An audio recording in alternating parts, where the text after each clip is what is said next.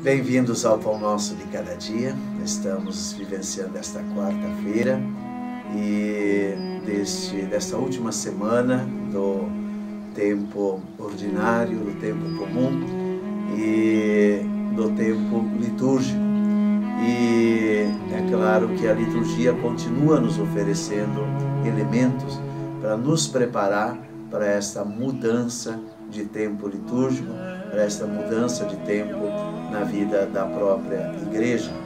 E os versículos 12 a 19 do Evangelho de Lucas nos ajudam a fazer isso, dizendo que antes do fim do mundo, é, antes que o mundo acabe, haverá então o tempo do testemunho da palavra e da ação de Jesus. Então é o tempo de testemunhar enquanto não chega ao fim, nos preparando para esse fim. Então a nossa missão é testemunhar a palavra e a ação de Jesus. E esse testemunho, ele previne é, os seus, os seus é, aqueles que testemunham. Jesus, ele previne é, para que estejam preparados, pois para que haja o testemunho, vai haver então dificuldades, é, as dificuldades vão aparecer e não serão poucas. É, então, para isso que o cristão deve estar preparado para esse, esse testemunho. E é claro que a história da igreja confirmou essas palavras de alerta feitas por Jesus. As perseguições se multiplicaram por causa da fé e do seguimento de Jesus.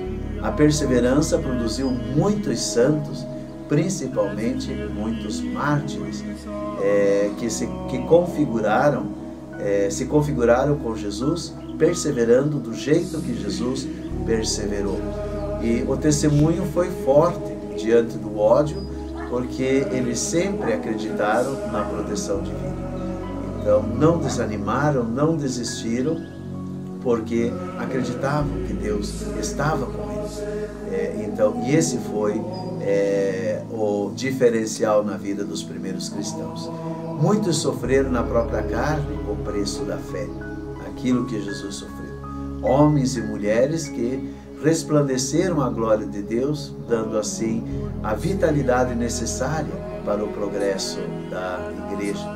Eles mostraram o rosto verdadeiro da igreja de Jesus Cristo.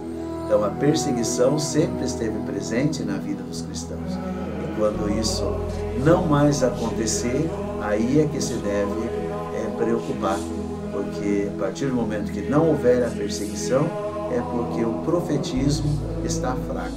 E se o profetismo da igreja está fraco, ela vai perdendo como que a sua identidade, vai perdendo o motivo pela qual ela continua viva e presente todos uma excelente.